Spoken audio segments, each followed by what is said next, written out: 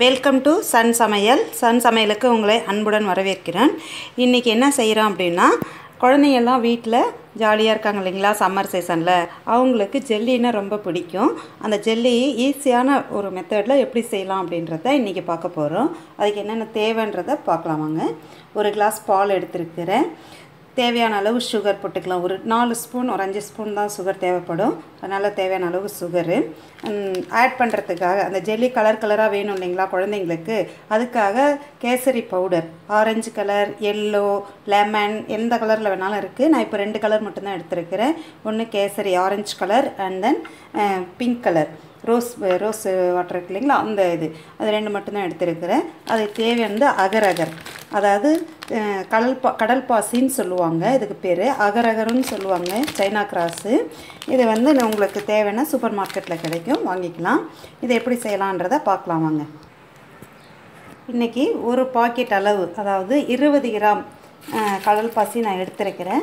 இதை வந்து நம்ம மிக்சியில் போட்டு நல்லா நைஸாக வந்து பொடி பண்ணிக்கலாம். அப்போ தான் சீக்கிரம் நம்மளுக்கு வந்து பாயில் பண்ணும்போது சீக்கிரமாக கரைஞ்சிடும். இல்லைனா ரொம்ப லேட் ஆகும். இதை போட்டு நல்லா கரைக்கணும்னா ரொம்ப லேட் ஆகும். அதனால் மிக்சியில் போட்டு நல்லா ட்ரையாக அதாவது பொடியாக நம்ம எடுத்துக்கலாம். நைஸாக அரைச்சாச்சு பாருங்கள் நல்லா பொடி பண்ணியாச்சு. இப்போ கால் லிட்டர் அளவுக்கு தண்ணி எடுத்து வச்சுருக்குறோம். இந்த தண்ணியை இப்போ வந்து அடுப்பில் ஒரு பேன் வச்சு இப்போ அதில் ஃபுல்லாக வச்சணும்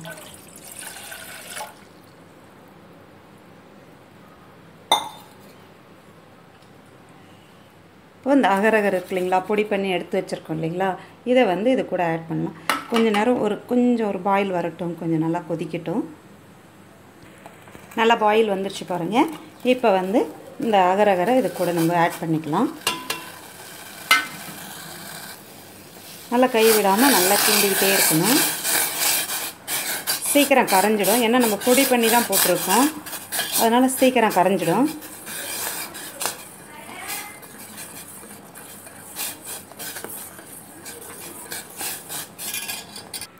நம்ம போட்ட அகரகர் பாருங்கள் ஃபுல்லாக நல்லா கரைஞ்சிடுச்சு.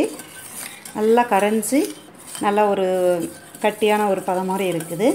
இப்போ வந்து இந்த சுகர் நம்ம ஆட் பண்ணிக்கலாம். ஒரு அஞ்சு டீ அஞ்சு டேபிள் ஸ்பூன் இல்லைனா ஒரு ஆறு டேபிள் ஸ்பூன் அளவுக்கு நான் சுகர் எடுத்து வச்சுருக்கிறேன்.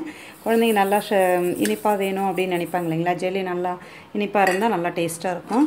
அதனால் ஒரு ஆறு டேபிள் ஸ்பூன் அளவுக்கு சுகர் எடுத்து வச்சுருக்கேன். சுகர் நல்லா கரையணும். கரைஞ்ச பிறகு அந்த பால் காய்ச்சி ஆற வச்சு எடுத்து வச்சுருக்கிற அந்த பாலை ஆட் பண்ணி நம்ம என்ன கலர்ஸ் வேணுமோ என்ன கலரில் ஜெல்லி வேணுமோ நம்ம அதை வந்து அந்த எசன்ஸ் ஊற்றி நம்ம கலராக பண்ணிக்கலாம். ஃப்ரீசரில் ஒரு ஒரு ஆஃப் அன் ஹவர் வச்சா போதும். டென் டு டுவெண்ட்டி மினிட்ஸ் இல்லைன்னா ஒரு ஆஃப் அன் ஹவர் வச்சா போதும். எம்மியான ஜெல்லி வந்து நம்மளுக்கு ரெடி ஆகிடும் பாருங்கள் சுகர் நல்லா கரைஞ்சிடுச்சு.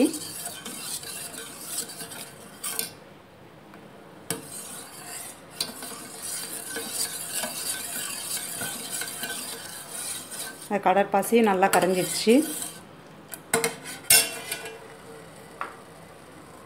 இது கூட எடுத்து வச்சுருக்கிற இந்த பாலை வந்து ஆட் பண்ணிவிடுங்க ஆட் பண்ணி ஒரு ஃபைவ் மினிட்ஸ் தான்.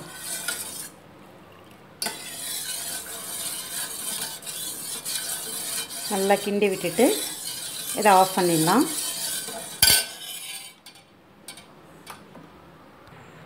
இப்போ பாருங்கள் மூணு கலர் நான் பண்ணலான்னு இருக்கிறேன். ஒன்று ஆரஞ்சு ஒன்று ரோஸ் மில்க்கு ஒன்று ஒயிட்டு இப்போது இந்த பவுலில் மூணு இதுலேயும் கொஞ்சம் கொஞ்சம் அப்படியே நம்ம ஆட் பண்ணி வச்சுக்கலாம்.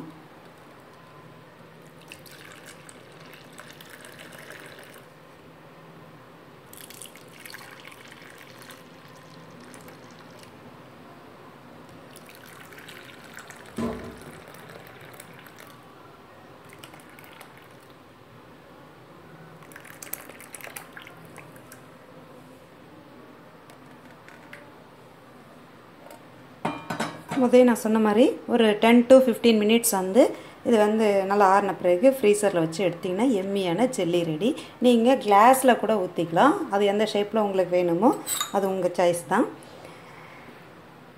இதை நம்ம ஃப்ரீசரில் வச்சு எடுத்து அப்புறம் பார்க்கலாம். பாருங்க ஆஃப்டர் டென் மினிட்ஸில் எல்லாம் ஃப்ரீசரில் வச்சு ஜெல்லி எல்லாம் ரெடி ஆகிடுச்சு பிங்க் கலர் இது வந்து ஆரஞ்ச் அண்ட் தென் ஒயிட் எம்மியான டெலிஷியஸான வீட்டிலே செஞ்ச ஹெல்த்தியான ஜெல்லி ரெடி குழந்தைங்களுக்கு இது ரொம்ப பிடிக்கும். இந்த வீடியோ உங்களுக்கு பிடிச்சிருந்ததுன்னா லைக் பண்ணுங்கள் ஷேர் பண்ணுங்கள் கமெண்ட் பண்ணுங்கள் அண்ட் தென் சப்ஸ்கிரைப் பண்ணுங்கள் பெல் பட்டனை மறக்காமல் அழுத்துங்க. தேங்க்யூ